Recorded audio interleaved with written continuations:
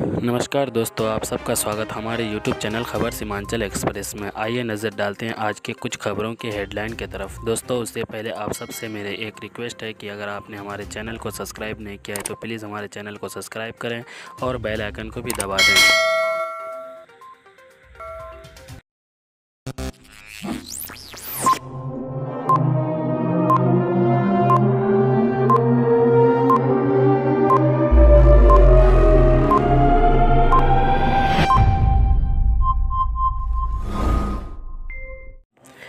जयपुर में कोरोना की स्पीड, एक दिन में छः लोगों की मौत, नौ दिन में उनतीस लोगों ने दम तोड़ा, मौतों का कुल आंकड़ा बावन पर पहुँचा। सीवान के साढ़े तीन साल के बच्चे में कोरोना की पुष्टि, संक्रमितों की संख्या पहुँची पाँच सौ उनतीस। लॉकडाउन के बीच मुजफ्फरपुर में आठ घंटे में महिला समेत चार की हत्या। जयपुर में सीएम आवास का ड्राइवर कोरोना संक्रमित, तीन दिन पहले हुई थी तबीयत खराब।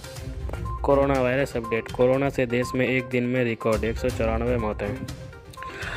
आज मजदूरों और छात्रों को लेकर छः ट्रेनें आ रही है बिहार। बेंगलुरु से दानापुर, साबरमती से मुजफ्फरपुर, कोटा से कटिहार, साबरमती से सीतामढ़ी, सूरत से बरौनी, सिकंदराबाद से खगड़िया। पेट्रोल, डीजल पर सरकार ने बढ़ाया अपनी कमाई। सस्ते तेल पर आम आदमी को फ़ायदा नहीं।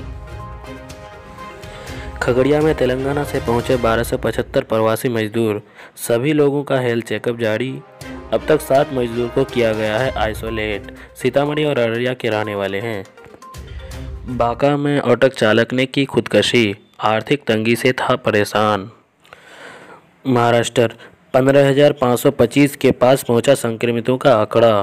करीब 617 लोगों की हुई मौत।